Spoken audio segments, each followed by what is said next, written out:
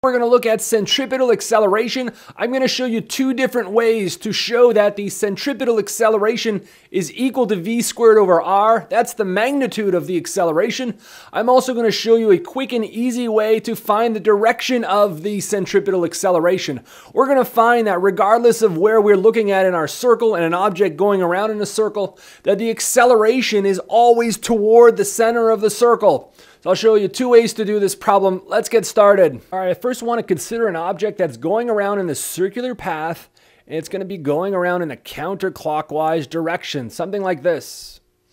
All right, next thing I'm going to consider is that I want to consider a couple different positions. So let's assume that the object starts over here, and I call this, he's at some position here, which I'm describing with the vector r initial. And then later on in time, he's going to be up at the top of the circle. I'll call this position RF. So during some amount of time, we call this delta t, he's actually gone through a little bit of angle here, right? We call this, say, the change in theta, right? His angle position changed. Now, let's have a look at what happens to the velocity. Now, and everything we're considering here is that the speed is constant. So if the speed is constant, it means that the magnitude of the velocity everywhere on this circle has to be the same. Okay, that's very, very important. Now, the direction can change, and that's kind of what these blue arrows are showing. So, what we're going to do is that at my initial position, uh, the direction of the velocity is vi, and that's denoted over here. You can give it a little vector notation. And notice that it is perpendicular to that position vector, ri. Later on in time, after some position, uh, after some time delta t, I've moved. I'm all the way at the top. And now my velocity here, I'll call this the final velocity. Notice that it's tangent to the curve and it's pointing to the left. So during that same time, delta t, my velocity has changed. And that is really, really the key. Even though the speed is constant, okay, we have to remember that velocity changes because velocity has direction associated to it. Okay, so let me just write velocity is changing. Now, if you remember your definition of acceleration, the definition of acceleration is the change of velocity as a vector over the change in time. So this is the formula we're going to work with. And again, if you expand the top over here, a change of velocity is always a final value minus an initial value. And again, divided by change in time. All right, so let's work with our acceleration formula. We have two things to try to show. What is the magnitude? So we're interested in how big the acceleration is. So that means we would have to show, well, how big is this delta v vector and divided by delta t. Delta t is just a scalar. We don't have to worry about this one. Uh, so this is the first thing we need to show. Uh, the second thing we're interested in knowing is what is the direction, right? What is the direction of uh, this acceleration vector? And notice that uh, in the top, what we have is, if I'm looking for the direction of this vector, well, the direction of the vector A has to be the same as the direction of the vector delta V. Because all you're doing with the vector delta V is you're simply dividing it by another scalar. And if you divide a vector by a scalar over here, you're not changing the direction.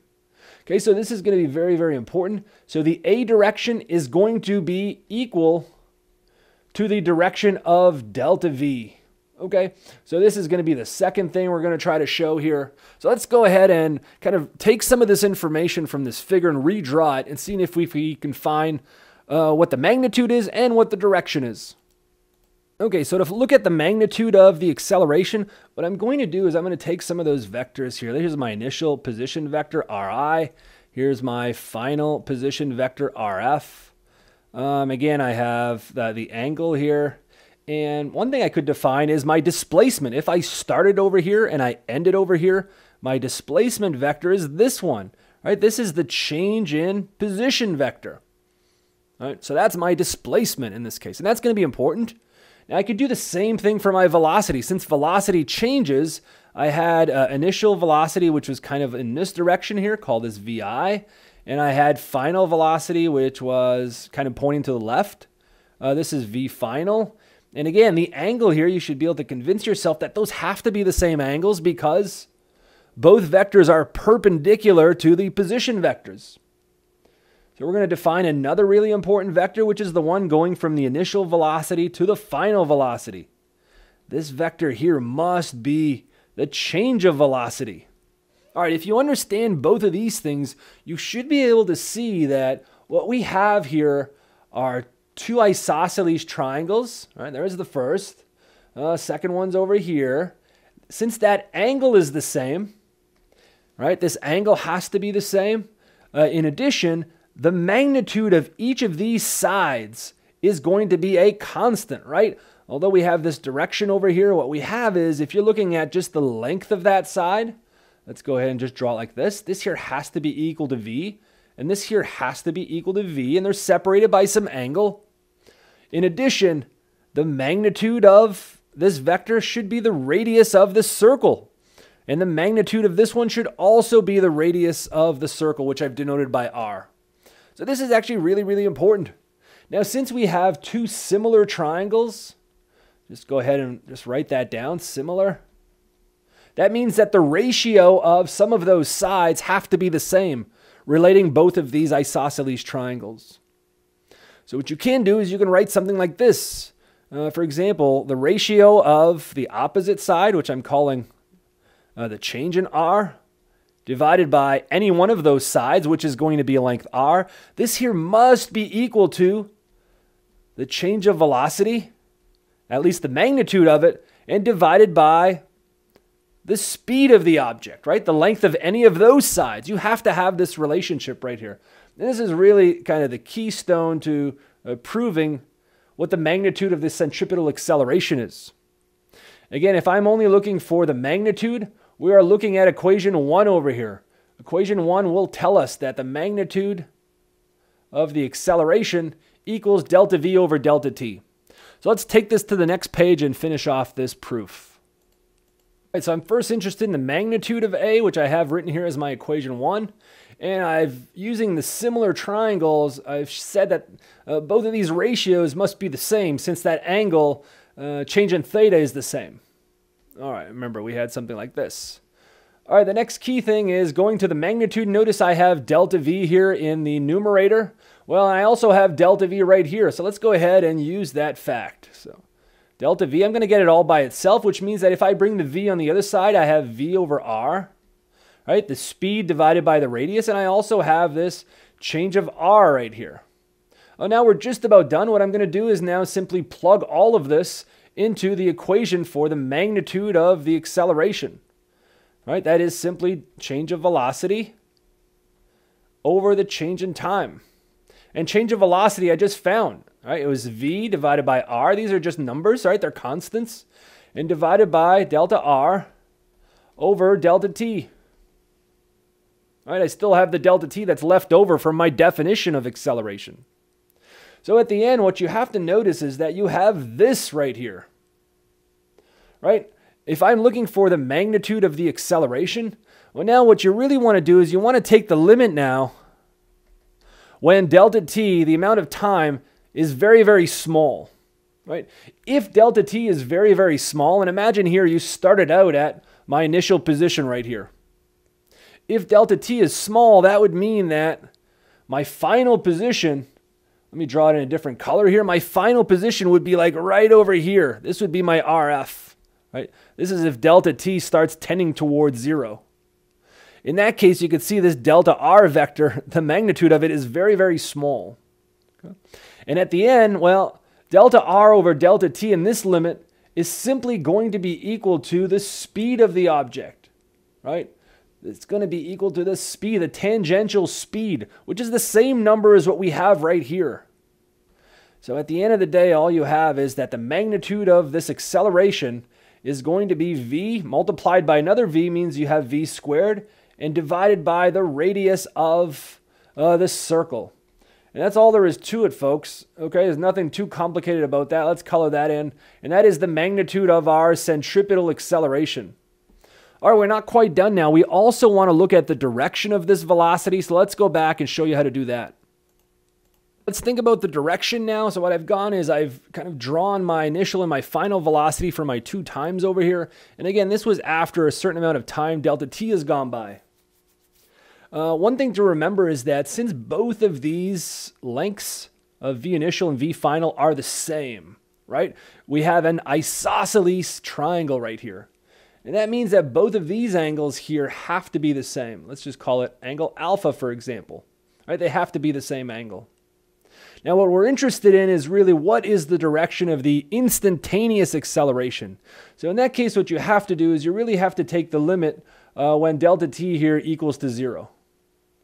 When delta t equals to zero, we should really redraw this triangle because what happens here? This is after a little bit of time delta t. I've started over here and I've gone all the way to the top. But if I end up going in the limit of small time, right, this is what you would have. You'd have my initial velocity, which is here, and my final velocity would be just like right over here, for example. It would be the same length, but the angle would kind of just be really, really small if I drew it, right? it would look something like this. This would be V final. Well, remember, the delta V is right at the end over here. This would be the uh, vector delta V like this. And the angle in between them would still be my change in angle, delta theta. Okay.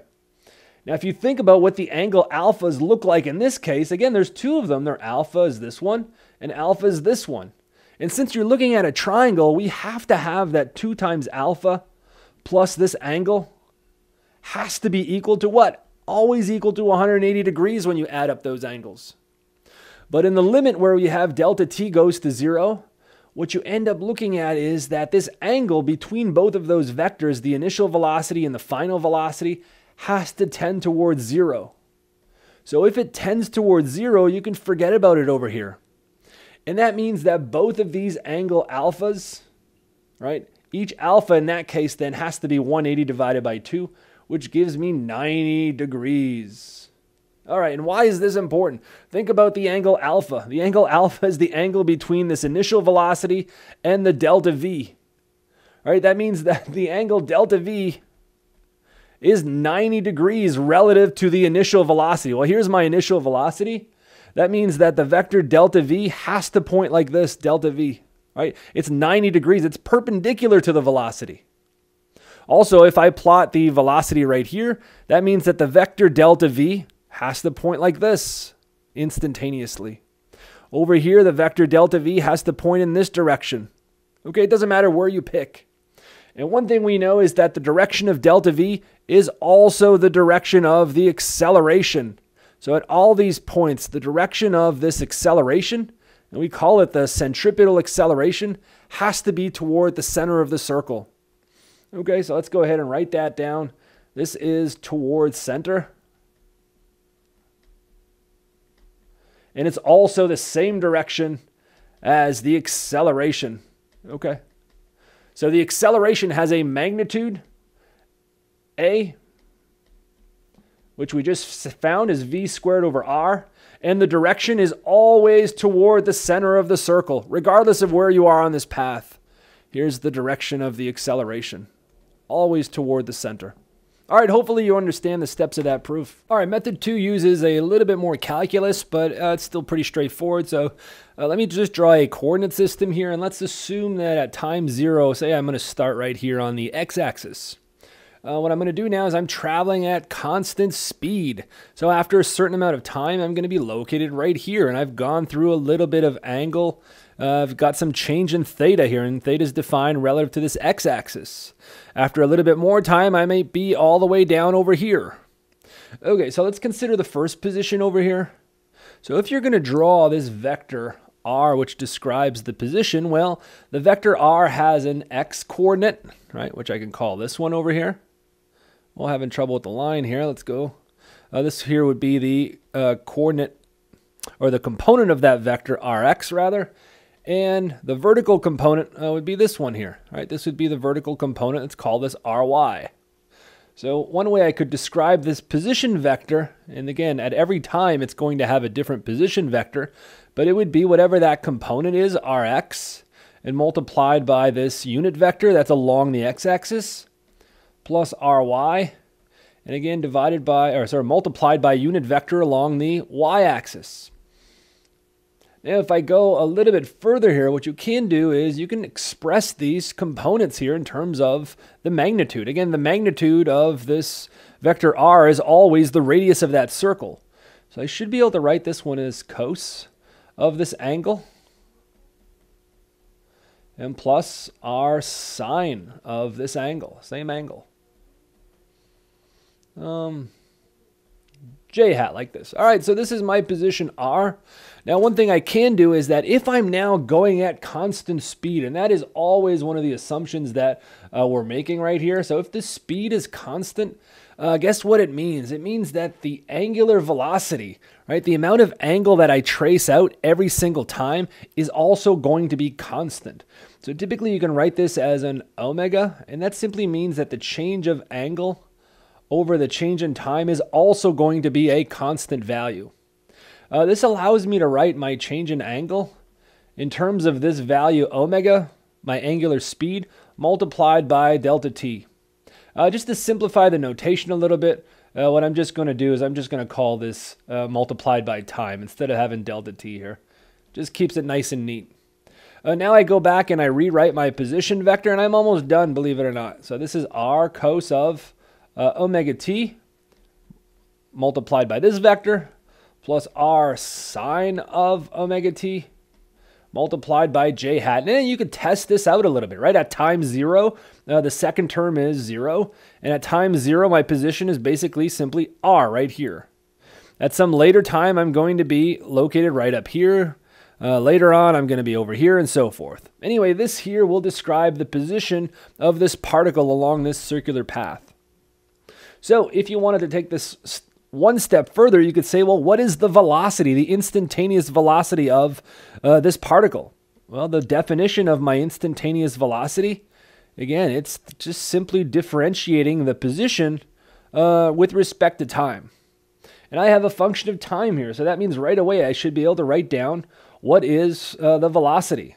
So if I differentiate the cos, I get minus an omega will come out since I'm differentiating a a function of time like this, a sine of omega t, multiplied by i hat. And again, plus, uh, if I differentiate the sine, I'm going to get a cos, and the omega pops out. Just using the chain rule over here, this will be cos of omega t uh, multiplied by j hat.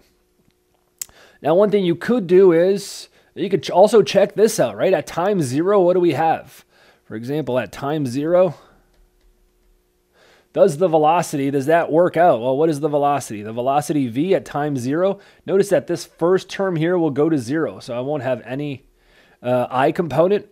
And all I'm left with here is plus omega r, and cos of zero gives me one. So that's it, you're all done. So the magnitude or the velocity at time zero has this magnitude, omega r, and it's pointing in the j hat direction. And that's this one right here. This is the velocity here at time zero. Notice that it's pointing straight up. Uh, that's along the j hat direction. And the magnitude of this vector, at least at time zero, and you can prove that it's actually at any time, the magnitude is equal to this angular frequency multiplied by the radius.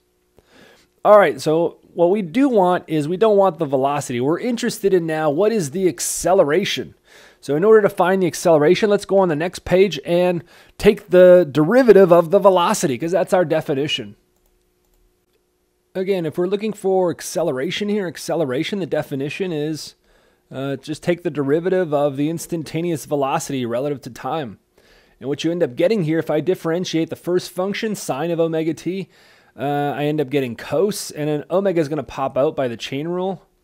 So I'm left with this, cos of omega t multiplied by i. And again, if I differentiate the second term here, uh, differentiate a cos, I'm going to get a sine, and another omega is going to pop out. Um, and derivative of cos is negative sine, right? So don't forget about that. All right, omega t, and then you still get the j hat vector. All right, so one thing we could find is, what if I'm just looking for the magnitude of these vectors? Right, what is the magnitude of r of t? All right, this one's easy, right? If you take the magnitude, well, you simply take um, the square of each component, right? So here you'd have r squared cos of omega t squared and plus the square of the other component. Just use Pythagorean here. Sine of omega t, and you don't forget to square this part. I notice that you have r squared for both of the terms. You could take that out, take that out of the square root. And at the end, the term in the square root is simply the square root of cos squared plus sine squared. And I know that equals to 1, Right, so the magnitude of the radius vector, pretty straightforward, that's simply equal to r. All right, just highlight that part. Uh, what if you wanted to know what is the magnitude of the velocity vector, right? The instantaneous velocity.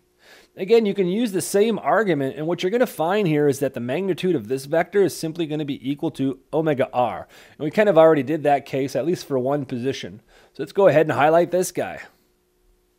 All right, and the last one now would be what is the magnitude of acceleration?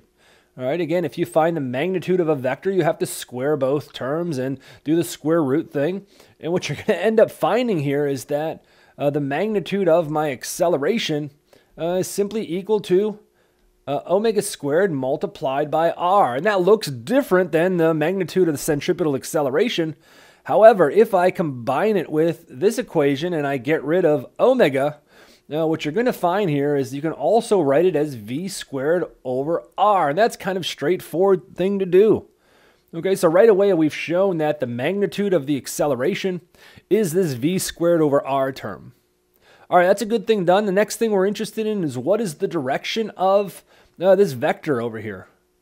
And one thing we notice here is that if you look at the vector A, right, look at both of these terms. Um, one thing I could factor out is a negative omega squared. And what are you left with? You're left with r cos theta multiplied by the i hat vector. And you're left with r sine theta multiplied by the j hat vector. That is exactly what the vector r is right here. So this is actually the same vector r that gives me my position. Now since I have a negative in the front of it and this omega squared term is always positive, that means that regardless of where you write the vector r, the position of that particle, what you're going to find is that the direction of the acceleration is always opposite of that vector r right? That's why you have a negative sign here. So this is always opposite of this vector. So regardless of what your position vector is, if this is my position vector at some time, I'm going to find that the acceleration position is always toward the center of the circle. Right? R describes a vector that goes from the center to the edge. Uh, the vector A, at the end of the day, is a vector that goes toward the center, exactly in the opposite direction of that one. All right, hopefully you understand that proof. Uh, this is kind of using calculus because I'm taking the derivative of cosines and sine functions, but it's pretty straightforward. All right, thanks for watching, folks.